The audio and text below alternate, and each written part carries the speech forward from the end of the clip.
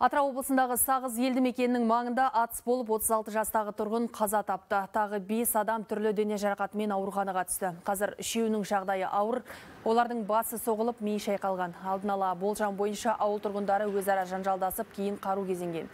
Қазір Сағызда полиция күшейтілген режимде жұмыс істеп жатыр. Облыстан арнайы жедел тергеу тобы бар. Адам өлтіру фактісі бойынша қылмыстық іс қозғалды. Осы Атырау қаласында 10 жасар бала тоққа түсіп көз жұмды. Ол ойнап жүріп тоңазытқыштың артына тығылған жедел жәрдем көлігі келгенше жас өспірім жан тәсілім еткен. Қазір тексеру жүріп жатыр. Батыс Қазақстанда Тойота жеңіл көлігі жүк көлігіне соғысып жүргізушісі қаза тапты. Апаттан кейін көлікте ес жатқан 16 және 12 жастағы екі балаға операция жасалды. Қазір жағдайлары ауыр дейді дәрігерлер. Оқиға Орал Керсанов тас жолында болған. Жүргізуші алдындағы жүк көлігін басып озбақ болғанда апатқа ұшыраған. Елордада базар маңында екі жаяу жүргіншіні көлік қағып кетті. Полиция департаментінің хабарлауынша оқиға кеше түсте болған. Кия көлігін мінген 22 жастағы азамат Уалиханов көшесінде қарсы бетке шығып кетіп, жолдан өтіп бара жатқан екі жүргіншіні соққан. Одан әрі қарама-қарсы келе жатқан Лада көлігіне соғылған. Апат салдарынан 60 жастағы жаяу жүргінші ауыр жарақат алып, сол жерде көз жұмған. Ал екінші жүргінші мен көлікті көлікте болған екі жолаушы ауруханаға жеткізіліп, дәрігер қарауынан соң үйіне жіберілген. Осы оқиғаға байланысты сотқа дейінгі тергеу амалдар жүргізіліп жатыр. Полиция департаменті жүргізушілерге барынша сақ болып, жол көлік ережесін қатаң сақтауды ескертеді. Семейде колледж студентінің тәртіпсіздігінен 14 адам зардап шекті. Қаладағы электротехникалық колледж жатақханасында студенттердің бірі бұрыш балонын сепкен. Салдарынан тынысы тарылып, көздері ашыған балалар жедел жәрдеммен ауруханаға жеткізіліп, 8 студент жан сақтау бөлімінен бірақ шыққан.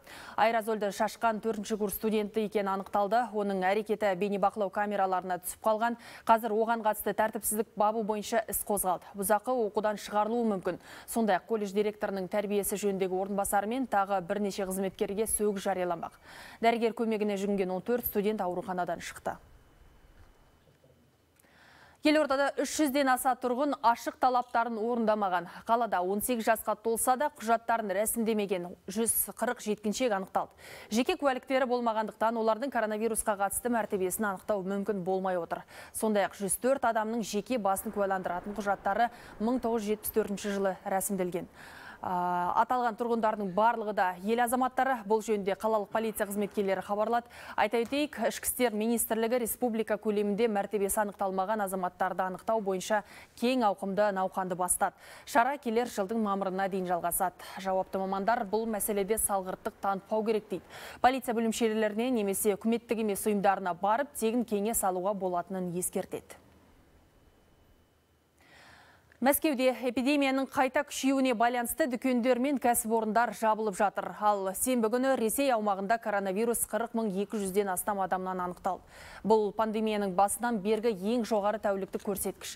Және кейінгі кездері елде осы инфекциядан күніне шамамен 1160 адам қайтыс болып жатыр. Сондықтан қауіпті вирустың тарауын шектеу мақсатында Ресейде қарашаның жетісіне дейін демалыс жарияланып отыр. Токио метросында пышақпен жасалған шабуылдан және өрттен 17 адам жараланды. Оқиғаға байланысты жергілікті полиция 24 жастағы ер адамды тұтқындады. Ол Бэтмен комиксінің қаһарманы Джокер тәрізді киініп, вагонға сұйықты төгіп от қойған.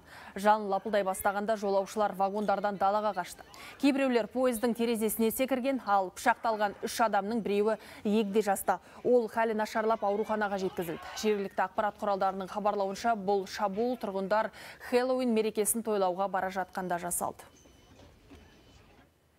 Римде үлкен жиырмалықтың кезекті саммиті аяқталды. Онда әлемнің ең ірі экономикаларының басшылары жаһандық климаттың жылынуымен мәнді әрі тиімді әрекеттерді қолдан күресуге уағдаласты. Бұл топқа ақш, Қытай, Ресей, Ұлыбритания, Жапония тәрізді 19 мемлекет пен Еуропа одағы кіреді. Атмосфераға тарайтын улы газдың 80 пайызы осы елдердің үлесінде. Айта кетсе, климаттың жылынуымен күрес мәселесі біріккен ұлттар ұйымының саммитінде талқыланады. 200 елдің лидерлері қатысатын ол конференция қарашаның 12-сіне дейін Шотландияның Глазгосында өтеді.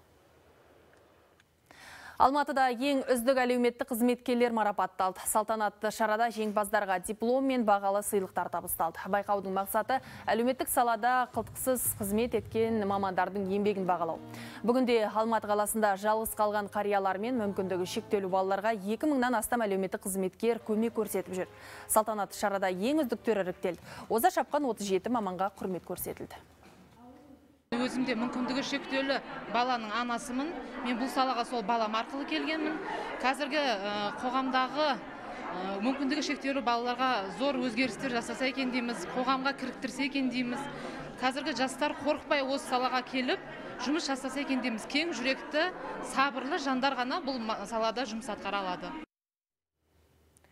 Бүгін Нұрсұлтан мен Қазақстанның тағы төрт өңірінде дауылды ескерту жарияланды. Қазгидрометтің хабарлауынша елордада түнде және таңғы уақытта тұман түседі. Күндіз желдің жылдамдығы 15-20 метр секундқа жетеді. Ал солтүстік Қазақстанның бірқатар өңірлерінде жаңбыр аралас қар жауады. Аймақтың кей жерлерінде тұман түсіп қатты жел соғып көктайғақ болуы мүмкін. Шығыс Қазақстан облысында да ауа райы күрт өзгереді. Жолда көктайғақ болып қатты жел соғады. Батыс Қазақстан облысында түн мен, түн мен таңғы уақытта тұман басады, ал Павлодарда ауа райының құбылуынан жолдар көк мұзға айналады. Жылдамдығы 15-20 метр секундқа жететін жел соғуы мүмкін. Президент жастар кадр резервіне іріктеудің төртінші кезеңі жүріп жатыр. Бұл кезеңге 8638 адам өткен. Солардың ішінен алғашқы сәтте талапқа сай делінген 250 адам іріктеліп алынды. Кәсіби тұрғыда өсуді көздеген үміткерлер үшін қазір құзыретті бағалау кезеңі жүргізілуде. Яғни олардың мінез құлқын арнайы білікті сарапшылар бақылауда. Бағалау бойынша келесі кезең сұхбатқа ең жақсы нәтиже көрсеткен 125 жуық үміткер өтеді. Ал іріктеудің ең соңғы қорытындысы бойынша резервке тек 50 үміткер алынады. Әзірге айтарымыз осы келесі жаңалықтар топтамасы 13.00-де ұлттық арнада қайта жүздескенше алыстамаңыздар.